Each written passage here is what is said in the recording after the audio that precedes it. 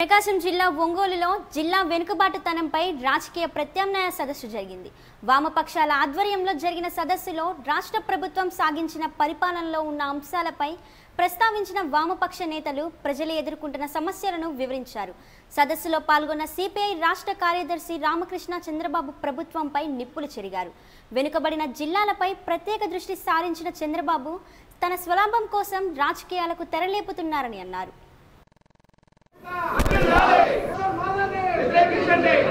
ప్రకటించాలి ప్రకాశం జిల్లాని వెనుకబాటు జిల్లాగా. ప్రకటించాలి. ప్రకాశం జిల్లాని వెనుకబాటు జిల్లాగా. పాలక ప్రతిపక్ష పార్టీలు అధికారంలో ఉన్న పార్టీలు అధికారం కావాలనే పార్టీలు వారి ఎవ్వరు కూడా పట్టించుకోకపోయినా ఈ ప్రకాశం జిల్లా వెనుకబాటుతనం పైన పోరాడుతున్న పార్టీలు ఏవైనా ఉన్నాయంటే సగర్వంగా చెప్పగలం అవి ఖచ్చితంగా కమ్యూనిస్ట్ పార్టీలే. ప్రకాశం జిల్లా వెనుకబడిన ప్రాంతమా? కాదా? వెనుకబాటుతనం ఇక్కడ ఉందా లేదా? ఈ విషయాలు ప్రభుత్వానికి తెలుసా తెలియదా? ఆర్థికవేత్తల ఆలోచన ఏమిటి? వారు ఏ రకంగా దీన్ని చూస్తూ ఉన్నారు?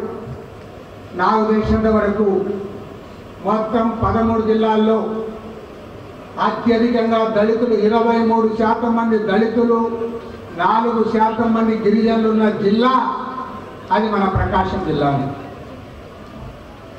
ఇవాళ దాదాపు ఎనభై శాతం భూములు ఇవాళ వర్షం పైన ఆధారపడి పండించుకునే భూములు.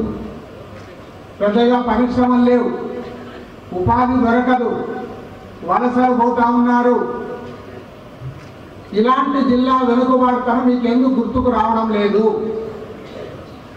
కాబట్టే ఇవాళ కమ్యూనిస్ట్ పార్టీలుగా స్పష్టంగా ప్రభుత్వ దృష్టికి తేవడానికి